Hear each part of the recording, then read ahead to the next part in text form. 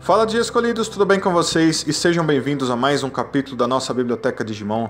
E no dia de hoje a gente vai estar falando sobre um monstro que não é exatamente um Digimon, mas de certa forma ele pode ser considerado um Digimon, né? Então, vamos falar um pouquinho sobre ele? Vambora. De nome Black Guardian, do nível Mega, do atributo Vírus. Um monstro extremamente poderoso que se encontra no kernel do mundo digital ele representa o atributo vírus dos Digimon. Ele tem o objetivo de testar aqueles que pretendem passar por ele para enfrentar o poderoso Overlord Gaia.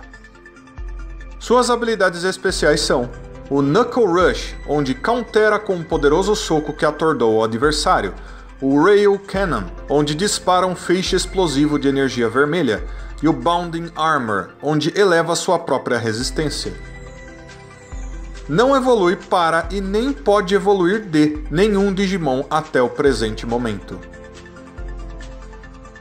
Então, galera, esse foi o Black Guardian. E para quem não conhece, não entendeu o que é esse monstro aí que parece um Digimon de certa forma, ele era um dos penúltimos chefes que você podia enfrentar no jogo Digimon World 2, né?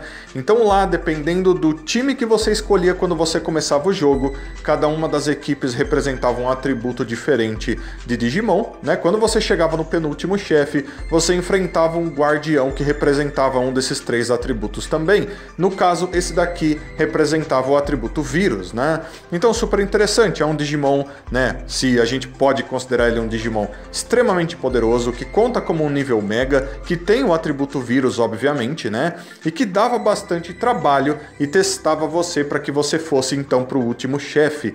E sendo guardiões que ficam no kernel do mundo digital, eu fico imaginando que eles eram extremamente importantes, com certeza, né? E seria legal que eles aparecessem de novo no futuro e por aí vai, mas quem sabe, né? Então, quero saber o que vocês acharam dele. Seus comentários são todos muito importantes. E também, como eu sempre peço para vocês, se possível, deixa um like, se inscreve no canal, liga o sininho, se torne membro do canal se você quiser. Deixa um abraço muito carinhoso para todos vocês. Muito obrigado a todo mundo que assistiu mais esse capítulo da Biblioteca Digimon. Então, fui de escolhidos, até a próxima.